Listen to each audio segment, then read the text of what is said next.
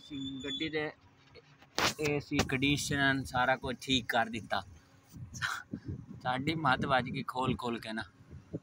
ਤੇ ਸਾਰਾ ਡੈਸ਼ਬੋਰਡ ਅਸੀਂ ਖੋਲਿਆ, ਲੇਕਿਨ ਇੱਥੋਂ ਖਾਲੀ ਖੋਲਿਆ, ਕੰਮ ਚੱਲ ਸਕਦਾ। ਮੋਟਰਾਂ ਦੋਵੇਂ ਨਜ਼ਰ ਆ ਰਹੀਆਂ, ਤੀਸਰੀ ਹੈ ਤੇ ਤਿੰਨੇ ਓਕੇ ਹੋ ਗਈਆਂ ਐ ਅੜਦੀ ਫਸਦੀ ਆਈ ਸੈੱਟ ਹੋ ਗਈ।